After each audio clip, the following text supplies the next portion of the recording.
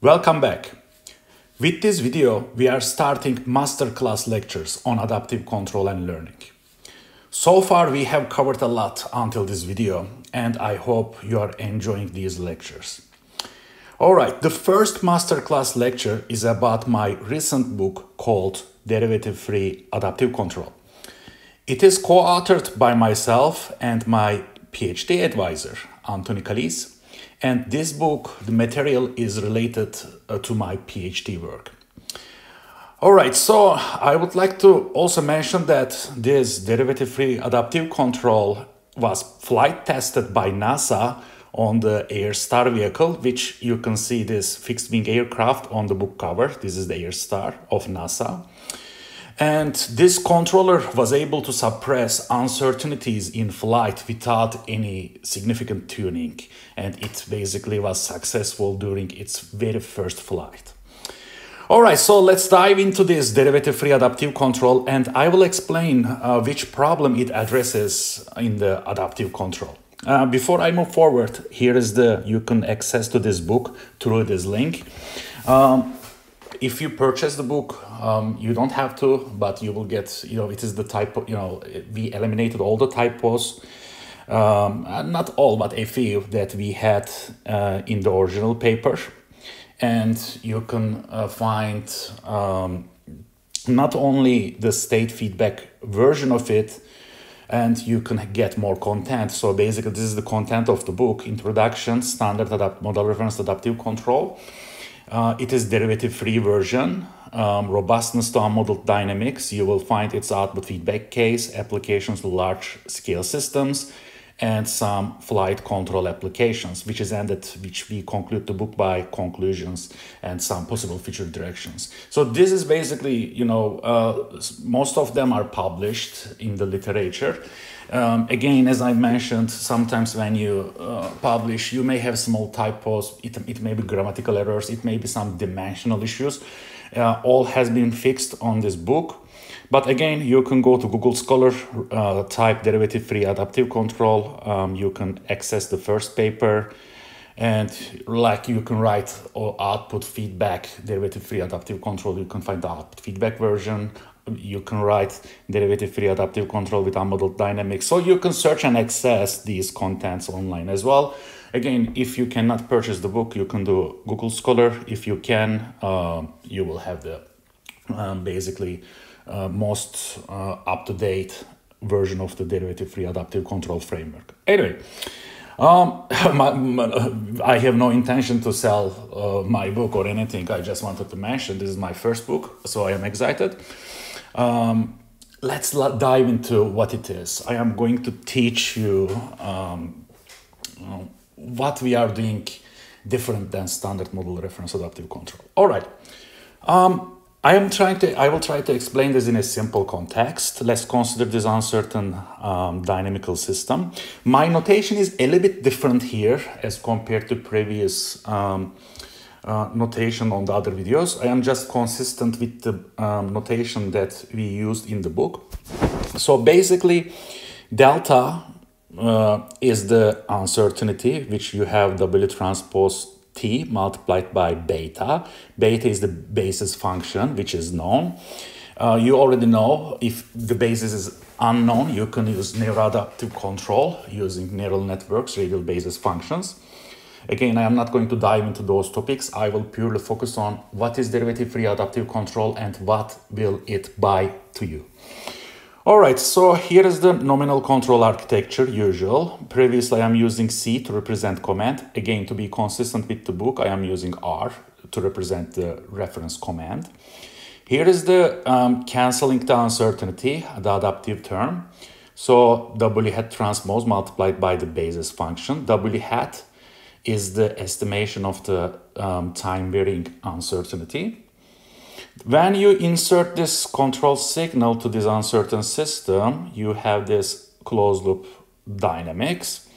We are going to call it AM, reference model AM matrix, design K1 such that AM is Hurwitz. Again, this is similar to AR notation, the R notation that I used in the previous videos. There's slight changes, but the same material. you adjust K2 to achieve a level of comment, uh, reference comment following performance.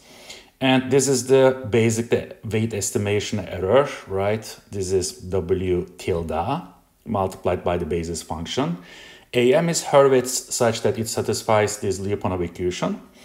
And from this structure, we also have our reference model, which again I am using M here for this video. Um, all right, so up to now, right, from here to here, nothing is different. If we have the same problem formulation as in other model reference adaptive control videos.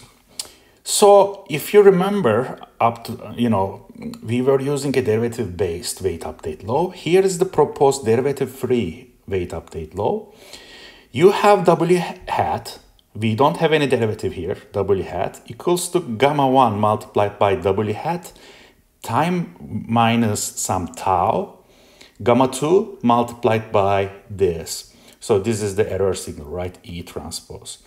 So previously we were using, right, w hat dot equals to some gamma beta of x, x minus xm transpose pb. So here, instead of having gamma, we have gamma 2. We don't have any derivative. And we have this added term, which is the delayed version of the weight estimate. So why we are using this? Before I tell you why we are using this, you can use this for neuroadaptive control. Unlike standard um, um, derivative-based weight update law, which we also call it parameter adjustment mechanism, um, right?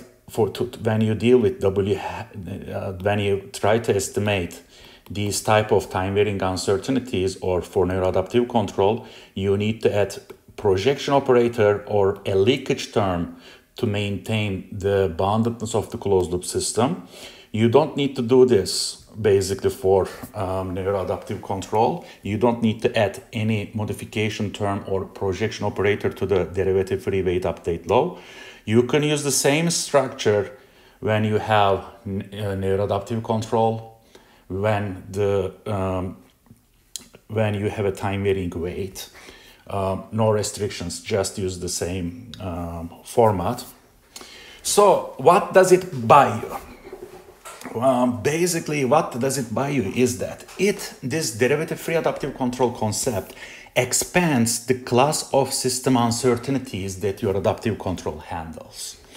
Basically here, the time varying uncertainty may not be differentiable, right? So it, it needs to be bounded, but we don't, this derivative free weight update law does not make any restriction on the time rate of change of this uncertain weight. It may be um, unbounded, right? Let's think about a quadcopter accidentally hits to a wall, some uncertainty, or landing, or you in flight, right? You are dropping a package from your quadcopter, your mass uh, instantaneously change and in those uh, instances WT is not differentiable. And WT can vary sufficiently infinitely fast. So these uh, basically situations are handled with derivative free uh, adaptive control and this is exactly what it buys you. When WT is time varying but you know it can be unbounded W uh, WT needs to be bounded W um, let me write it down. This can be unbounded. So this is exactly what derivative-free adaptive control buys you. All right, so um, you have three parameters to select. And I am going to show a MATLAB example in this video so that we can make these um, selections concrete. So this is a design parameter. It can it is it is it can be zero to 0.999. You, you cannot select it to be 1. Gamma uh, is uh, basically positive and tau is positive. As this being said, you can only select gamma equals to 1 when um, uncertainty is constant. Then you can set gamma to be 1. Um, if not, uh, just uh, select it on this range. I am not going to show the proof, um, okay? So proof is a little bit involved, but not hard. Okay, it is just, it is like some puzzle solving. Proof follows from this Lyapunov Lyapunov-Krasovskii function candidate that you see here with the integral. And let's dive into the example. All right, um, as always, I am giving you the code. We have a pretty standard code, this, uh, code. The cleaning process, simulation time is 100 seconds. There are some switches in the code that I introduced. Yeah, you know, you don't have to, but sometimes I would like to see the nominal performance without any uncertainty and without adaptation. So I am setting these switches to zero.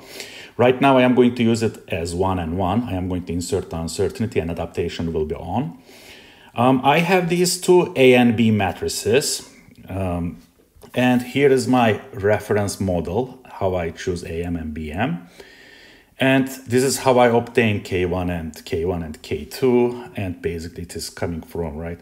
AM equals to A minus B K1. You can solve once you select AM, you can find K1 like this. Like the, likewise K2, right? So BM was uh, BK2. Once you set BM, um, you can obtain K2. Uh, solving Lyapunov equation, I will uh, start with uh, these gamma 1, gamma 2, and tau um, selections. Um, this is the basically numerical example for uh, Wing-Rock dynamics. And this is the initialization. Um, this is the uncertainty weight. Basically, before 20 seconds, I have no uncertainty. When it is uh, 20 seconds, I am going to insert this uncertainty. Um, again, this is coming from the, um, these uncertainties are coming from the book or uh, from the derivative-free adaptive control paper. Um, some you can treat as some uncertainties, and I introduced a, you know, um, a sinusoidal signal to make this uncertainty time varying. Again, code yourself. You can increase the frequency of sine to introduce the uncertainty faster and faster and faster. And uncertainty is not differentiable at 20 seconds. I am instantaneously changing it to this uncertainty. So there will be um, this jump. Um, reference comment basis function. Again, this basis function is spatial to this um, Wing-Rock dynamics phenomenon. Nominal controller, adaptive controller, actual controller. And here is the uh, weight update law reference model uncertain system saving the data. The most important point in implementing derivative-free adaptive control, in my opinion, is this step. Basically, this, these three lines of code corresponds to W hat T minus tau or capital T based on the selection of the tau you have. And then um, basically these are the uh, for generating plots. Again, you can um, stop the video and take screenshots, code it yourself. Um, I always encourage that you should code it yourself. It's a nice learning experience and plus you can play with the code to explore it further. Um, let me uh, dive into the uh, simulation results. Again, I'm going to explain these plots. This is for gamma 1 equals to 0.5, gamma 2 equals to 1, and tau equals to 1. Black line is the reference comment. Red line is the first state of the reference model that um, and blue is the actual uncertain system's first state.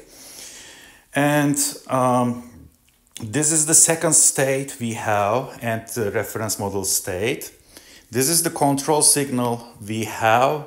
And here I plot W and W hat multiplied by beta. Basically, this is the actual uncertainty, red, and this is, it is basically adaptive control signal, right? So it is estimation. So for these selections, um, we actually, these results are not bad, but um, we insert the uncertainty here up to uh, 20 seconds. We have a very good performance. Then uh, fair performance is degraded on X1, more degraded on X2, and our controller cannot, it does a decent job, but we have basically, we do not, adaptive estimate does not perfectly match with the uncertainty for cancellation purposes.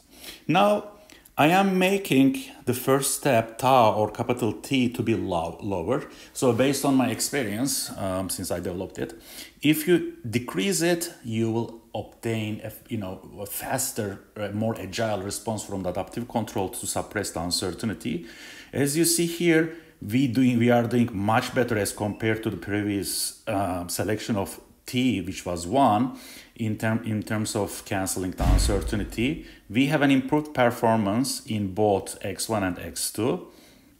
Now, I am increasing gamma 2 next from 1 to 10, and we have a very nice performance. We almost almost perfectly canceling the uncertainty. We have some little areas for improvement.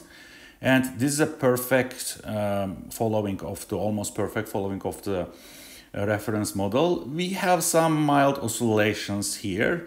To get rid of this, you can increase also gamma 1 to 0.9.